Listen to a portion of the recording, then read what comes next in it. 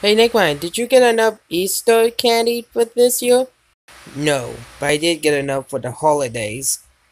At least no one will be a fat boy.